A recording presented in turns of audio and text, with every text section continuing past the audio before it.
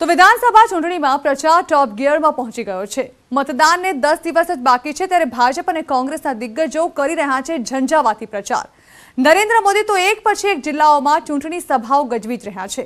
હવે દક્ષિણમાંથી પદયાત્રા છોડી રાહુલ ગાંધીએ પણ વિધાનસભા ચૂંટણીમાં ઝુકાવ્યું છે. શરૂ થઈ ગયા છે વાર પર પલટવાર.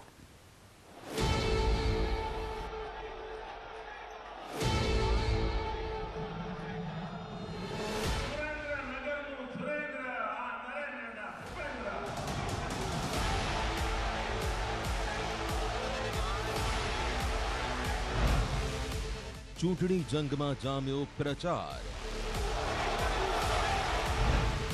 વાર પર પલટવાર आप आदिवासी हो और ये देश आपका है था और रहेगा કોણ કોના પર પડશે ભારે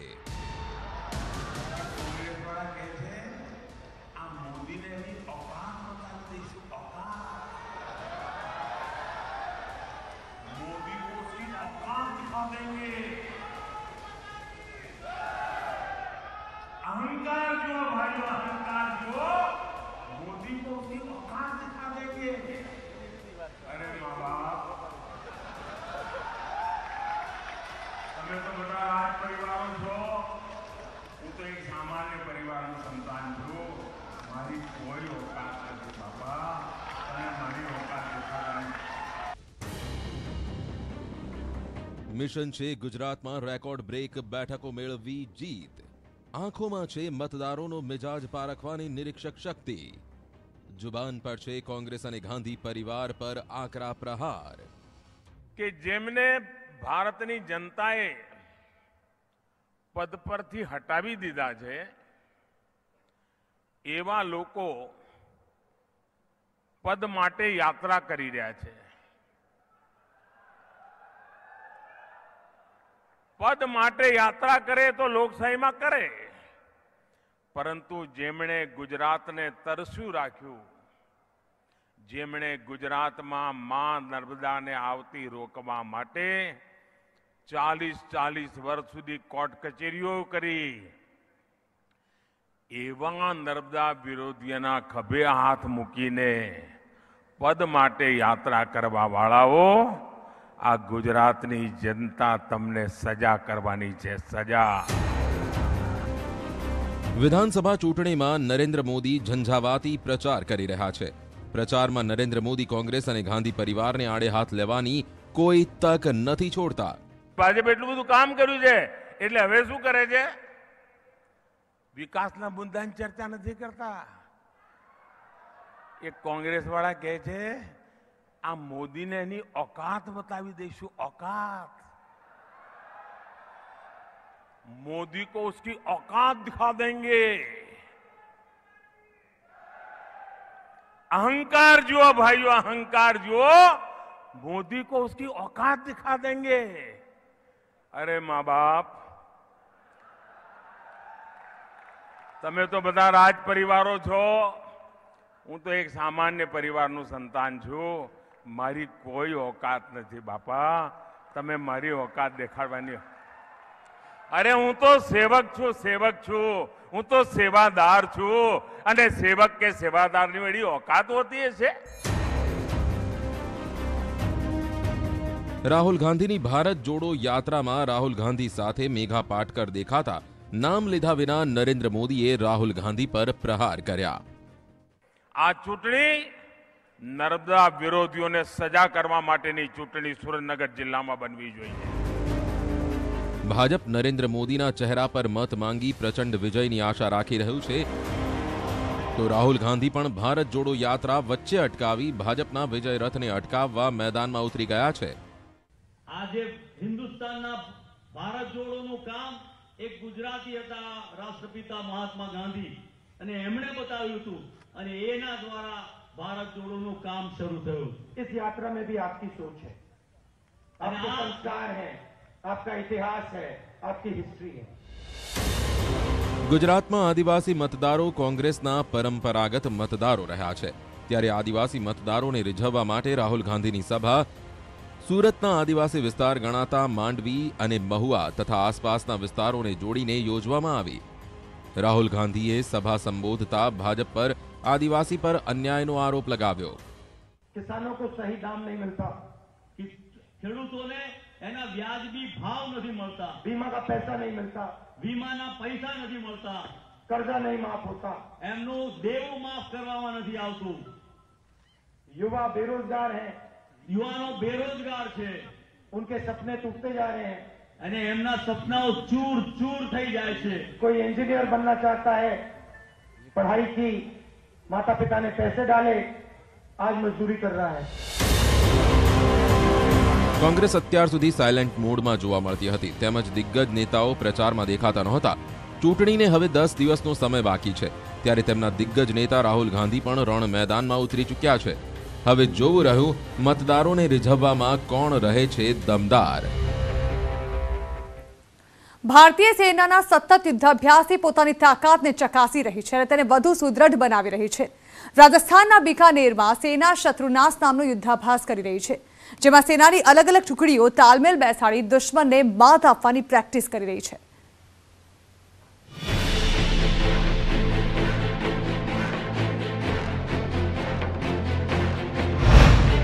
વિસ્ફોટોથી ધણધણી ઉઠ્યું રણ. આર્મી અને એરફોર્સનું જોઈન્ટ ઓપરેશન. રણમાં સેનાનો યુદ્ધાભ્યાસ, શત્રુનાશ.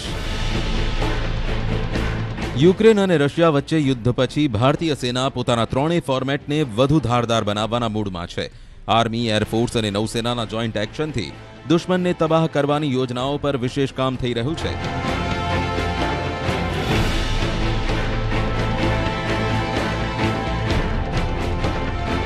બીકાનેરમાં મહાજન ફિલ્ડ ફાયરિંગ રેન્જમાં શત્રુનાશ યુદ્ધાભ્યાસનો ઉદ્દેશ પણ આજ નજરે પડ્યો આર્મી અને એરફોર્સના જવાનોએ સાથે મળીને કર્યો યુદ્ધાભ્યાસ T ninety T seventy two K nine Vraj Sarang air defence gun Sukhoi Apache Rudra રણમાં જોવા મળી ભારતીય સેનાની તાકાત યુદ્ધાભ્યાસમાં શરૂઆતમાં બે હેલિકોપ્ટરે યુદ્ધના મેદાનમાં બનેલી દુશ્મનની ચોકીઓની ઓળખ કરવાનો પ્રયાસ કર્યો જ્યારે બે હેલિકોપ્ટરોએ કમાન્ડો અને તેમના શસ્ત્ર સરંજામને ફિલ્ડમાં ઉતાર્યા અભ્યાસ દરમિયાન ચેતક હેલિકોપ્ટરથી પણ જવાનોને મેદાનમાં ઉતારવામાં આવ્યા ઉપરાંત રુદ્ર હેલિકોપ્ટર અને અપાચે હેલિકોપ્ટરે વીસ મિલીમીટર ગનથી ફાયરિંગ કર્યું અપાચે હેલિકોપ્ટરે દુશ્મનના વિસ્તારમાં મિસાઇલ છોડી શત્રુનાશ યુદ્ધાભ્યાસમાં મલ્ટી બેરલ રોકેટ લોન્ચરે પણ કમાલ દેખાડી સેનાની T ninety T seven two અને કે નાઇન ટેન્કોએ પણ દુશ્મન પર દારૂગોળા છોડ્યા. આ પ્રેક્ટિસ દરમિયાન વાયુસેનાએ પણ સુખોઈ વિમાનોનું શાનદાર પ્રદર્શન કર્યું. એશિયાની સૌથી મોટી ફાયરિંગ રેન્જમાં ઇન્ડિયન આર્મી અને એરફોર્સના હથિયારોનો ભરપૂર ઉપયોગ થયો. આ ટેન્કો જ્યારે મેદાનમાં ઉતરી તો તેમને ફિલ્ડ સપોર્ટ દેવા માટે એરફોર્સના ફાઇટર જેટ્સ તૈનાત કરવામાં આવ્યા. ફાયરિંગ રેન્જમાં રણમાં દુશ્મનના અડ્ડાઓ બનાવવામાં આવ્યા હતા. બંને ફોર્સના જવાનોએ પરસ્પર તાલમેલથી આ અડ્ડાઓને નેસ્તોનાબૂદ કર્યા સમય અને અડ્ડાઓ પર સચોટ વારના વખાણ થયા જમીની અને હવાઈ હુમલામાં જવાનોએ જબરદસ્ત જુસ્સો બતાવ્યો આ યુદ્ધાભ્યાસમાં સવારે દસથી બાર વાગ્યા સુધીમાં એક પછી એક વિસ્ફોટોથી રણ પ્રદેશ ધણધણી ઉઠ્યો ફાઇટર પ્લેન પોતાના સ્થળેથી ઉડ્યા બાદ થોડી જ સેકન્ડોમાં દુશ્મનના અડ્ડાઓ પર પહોંચતા અને હુમલો કરી ગાયબ થઈ જતા તેમની પાછળ વિસ્ફોટોનો અવાજ અને રણમાં ઉડતી આ ધૂળ જ જોવા મળતી રશિયા અને યુક્રેનને ધ્યાનમાં રાખી આ યુદ્ધાભ્યાસમાં આર્મી ઇન્ટેલિજન્સને પણ કેન્દ્રમાં રાખવામાં આવ્યો દુશ્મનના અડ્ડા ક્યાં છે અને ત્યાં કેવી રીતે વાર કરી શકાય ગુપ્ત સૂચનાઓના આધારે હુમલા કરવામાં આવ્યા બંને ફોર્સ વચ્ચે સમન્વય આ યુદ્ધાભ્યાસની વિશેષતા રહી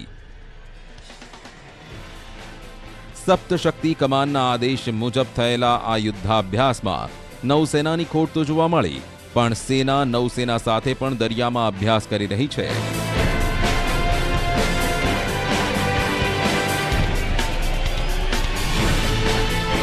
ભારતીય સેના સતત આવા યુદ્ધાભ્યાસથી પોતાની શક્તિ ચકાસે છે અને તેને વધુ સુદૃઢ બનાવે છે. શ્રદ્ધા મર્ડર કેસમાં પોલીસ ખૂટતી કડીઓ શોધી રહી છે અને તેવામાં શ્રદ્ધાના મિત્રો અને નજીકના લોકોને આવી રહ્યા છે ચોંકાવનારા નિવેદનો આફતાબની ક્રૂરતાની બહાર આવી રહી છે કહાની આફતાબ શ્રદ્ધા પર પહેલા પણ અત્યાચાર કરતો આવ્યો છે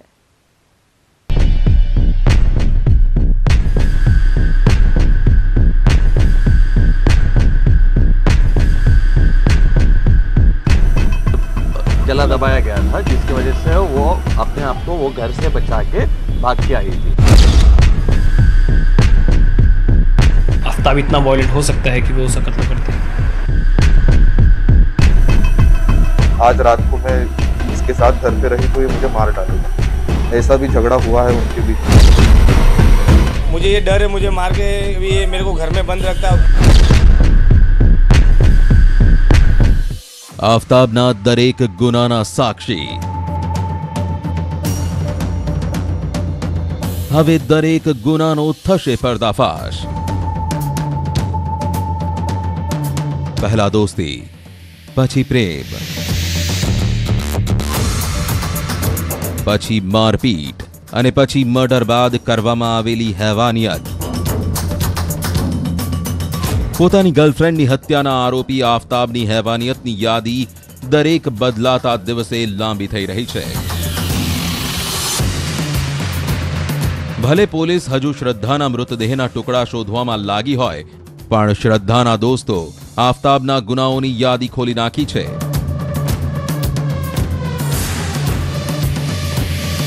શ્રદ્ધાના જેટલા પણ દોસ્તો સામે આવ્યા છે તેમાં દરેક ખૂની પ્રેમીની કહાની કહી રહ્યા છે તેમાં એક વસ્તુ છે જે બધાને ખબર પડી છે અને તે છે શ્રદ્ધા સાથે મારપીટ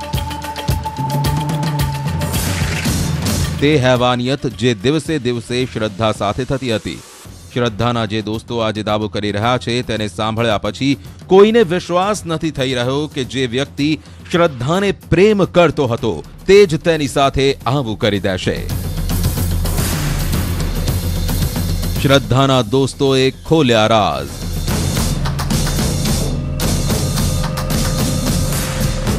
આફતાબના કરતૂતોનો પર્દાફાશ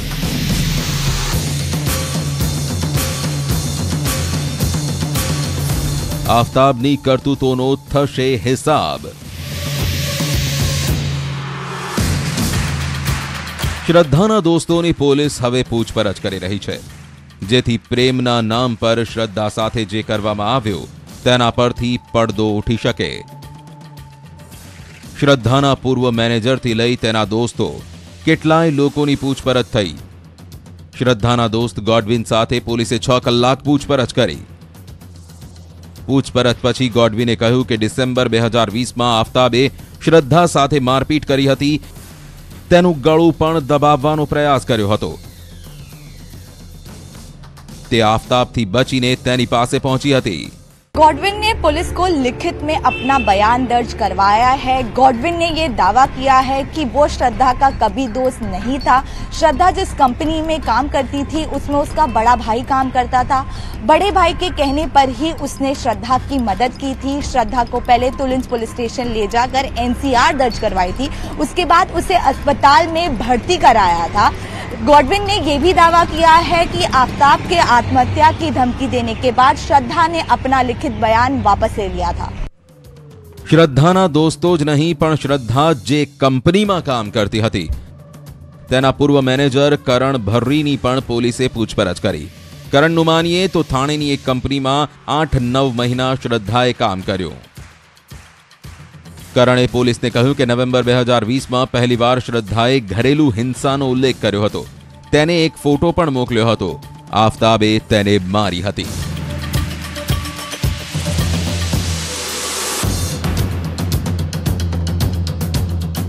वो उसके साथ में हाथापाई हुई थी नवंबर में फर्स्ट टाइम में वो श्रद्धा ने रिपोर्ट किया था बस वही डिटेल मैंने उसके बाद क्या किया आपको मालूम तब मैंने उसकी हेल्प की थी, मेरे फ्रेंड के थ्रू यहाँ पे पुलिस स्टेशन उसको भेजा गया था और हॉस्पिटलाइज करीबी दोस्त, बचपन का एक दोस्त था, उसको बताया था कि वो उसे रेस्क्यू करे, उसको जल्दी से अपने साथ ले जाए, नहीं तो फिर उस रात आफ्ताब इतना वॉयलेंट हो सकता है कि वो उसका कत्ल कर दे।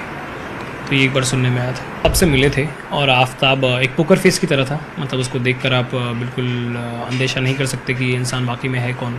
जो इंसान एक्सप्रेसिव होता है, आप उसके हाव भाव उसकी बातों से जान सकते हैं कि वो कैसा व्यक्तित्व है, लेकिन जो इंसान रिजर्व्ड है, जो छुपा रहा है कुछ बातें तो उसके अंदर क्या है, वो शायद आप नहीं झाँक के पता कर सकते।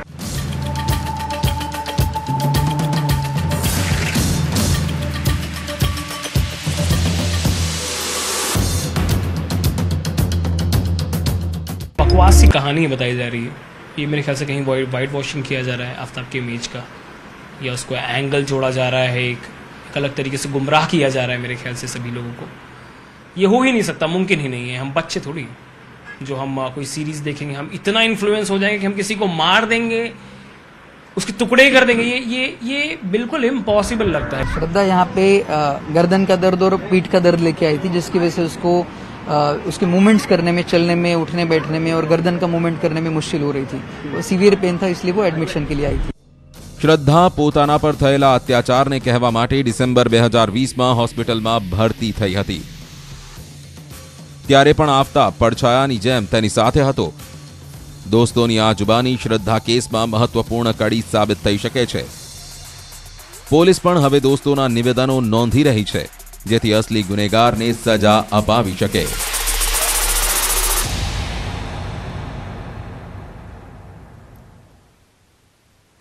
રશિયા અને યુક્રેન યુદ્ધ વચ્ચે એક મોટો દાવો સામે આવ્યો છે. આ દાવો છે કે એક એવા ખતરનાક બોમ્બનો જે માણસને વરાળમાં ફેરવી શકે છે. જતા જતા જોઈએ કે રશિયાએ યુક્રેન પર હુમલા માટે આ પ્રકારના બોમ્બનો ઉપયોગ કઈ રીતે શરૂ કરી દીધો છે.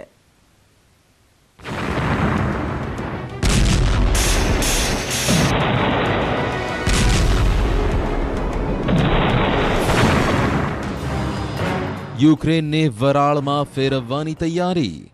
રશિયા કરશે વરાળ બોમ્બનો ઉપયોગ યુક્રેનમાં સૌથી મોટી તબાહીનું કાઉન્ટડાઉન રશિયા યુક્રેન યુદ્ધમાં તમે હથિયારોનો ડર જોયો રશિયા યુક્રેન યુદ્ધમાં તમે મિસાઇલોથી બરબાદી જોઈ રશિયા યુક્રેન યુદ્ધમાં તમે તોપોના ગોળાથી તબાહી જોઈ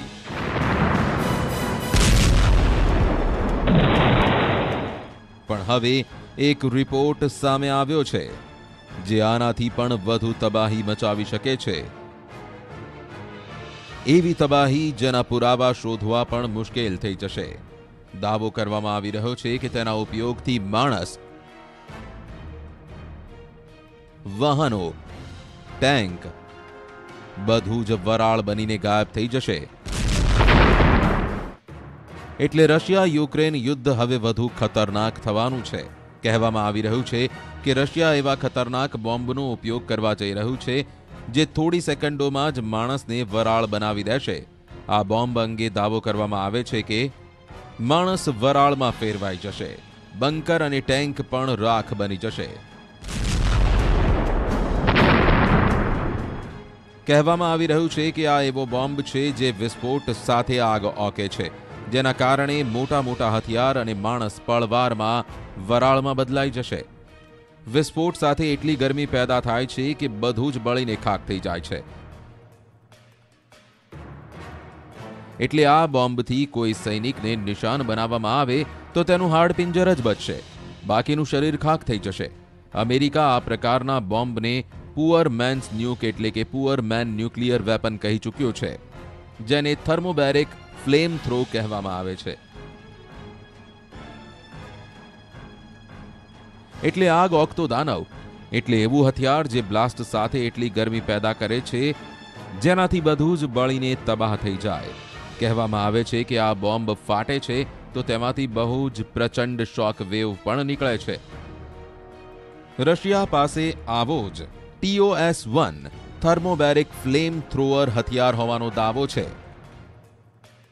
જે એક આર્ટિલરીથી ચાલતું હથિયાર છે જેને રોકેટ લોન્ચરની મદદથી પણ ફેંકી શકાય છે આ હથિયારની રેન્જ દસ કિલોમીટર કહેવામાં આવે છે જે વિસ્ફોટ સાથે ત્રણ હજાર ડિગ્રી સેલ્સિયસ ગરમી પેદા કરે છે આ જ કારણ છે કે આ બોમ્બ જ્યાં પણ પડે છે ત્યાં દરેક વસ્તુ વરાળ બની જાય છે કહેવામાં આવે છે કે આ બોમ્બના ઉપયોગ સાથે એક હજાર ફૂટના વિસ્તારમાં કશું જ નથી બચતું એટલે માત્ર હુમલો થાય છે પણ કોઈ પુરાવા નથી મળતા. આ યુદ્ધમાં સૌથી ઘાતક હથિયાર કહેવામાં આવે છે, જેને રશિયાની સેનાએ તૈનાત કર્યો હોવાનો દાવો થાય છે. સાથે રશિયા અને ઈરાને નવી ચાલ ચાલી છે.